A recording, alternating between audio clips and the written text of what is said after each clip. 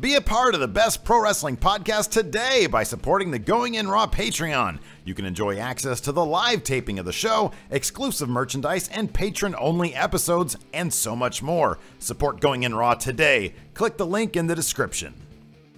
Hey, friendo, Steve here. And Larson. So, with the WWE draft having come and gone, and with the charred remains of anyone's hopes that SmackDown becoming a real competitor to Raw anytime soon still fresh, we figure we'd take a look at the best and worst picks each brand made. Yesterday we dropped a video giving you the best WWE draft picks, so today, of course, we give you our picks for the worst picks in the WWE brand draft. Mojo Rawley! Okay, okay, I know I harped on this in the Going in Raw podcast, but there were six NXT roster spots available for the GMs to pick from. And instead of choosing Hideo Itami, Shinsuke Nakamura, or NXT champion Samoa Joe, SmackDown chose Mojo Rawley? But if any of those names you mentioned were drafted, there'd be a huge hole in the NXT brand. Look, I agree with you, but that doesn't explain why they weren't drafted according to storyline. All they needed was to let the WWE Universe know that NXT GM William Regal was allowed to protect X number of wrestlers on his roster. We didn't even have to know who that would have been. That could add to the mystery. Just that there was a reason certain big names weren't taken. Yeah, if I'm Raw or SmackDown GM, I really don't give a shit about the health of NXT. I just want the best names on my show. Some explanation, even in a throwaway manner, would have been nice. I know! Look, Mojo seems like a nice enough guy. Hopefully he and Zack Ryder can do their hype bros thing on the blue brand. Maybe Ryder can be both SmackDown Tag Team Champ and SmackDown US Champ if he takes it off Rusev at Battleground. My guess is none of that will happen for him. Oh God, no! None of that's gonna happen at all. No. He's gonna. Well, in about five years, he'll get another big like main event win on Raw, perhaps like an underdog win, and then And then have to go back to NXT for some reason. exactly.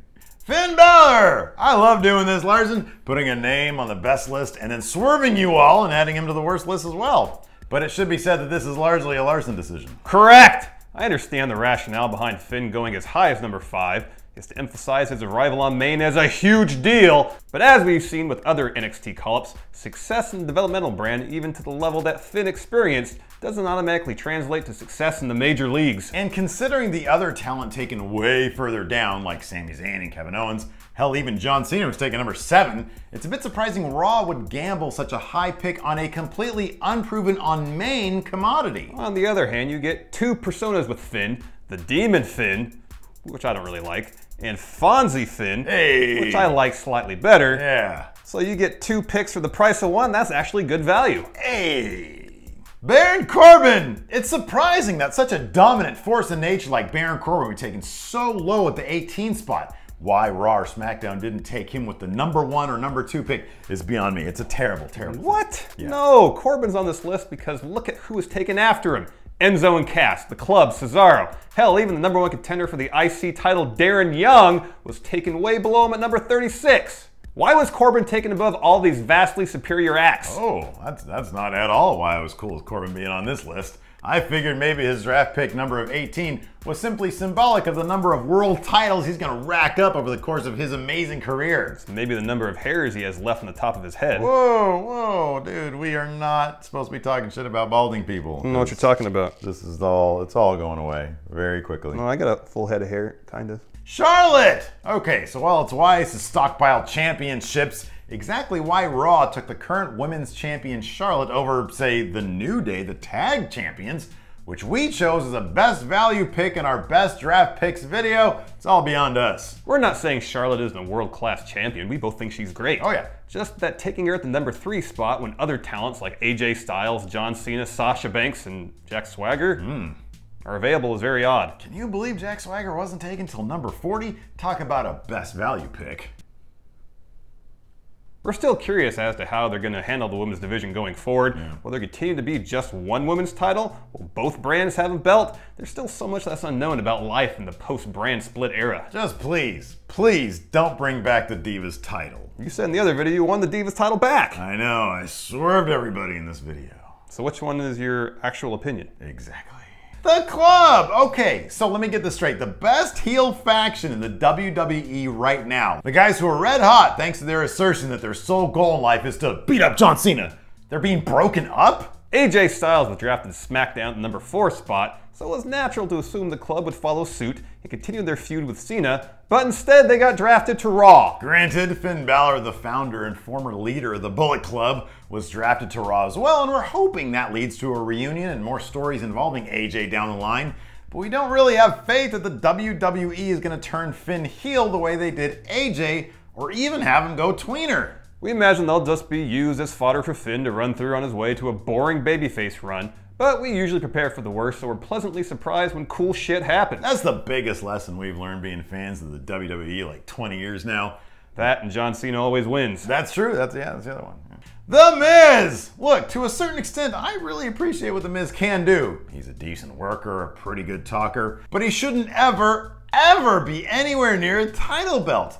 I'm guessing he was chosen 17th simply because he has the IC title over his shoulder, not so much for what he can actually bring to SmackDown. Which is minimal. Mm. What we're trying to say is that he's a horrible value pick, especially when far more dynamic and interesting wrestlers like Kevin Owens, Enzo and Cass, and American Alpha went after him. Even the number one contender to his IC title, Make Darren Young Great Again, wasn't chosen until number 36. This is probably another example of Vince really loving a guy while everyone else thinks he's mediocre. Yeah. Like imagine Vince talking to Triple H, well, Paul, I think we should put the IC belt on Mike for at least a year. Uh, Dad, who's Mike? Who's Mike who? The Miz. Oh, Mike. Oh, yeah. No, he's terrible. What are you talking about?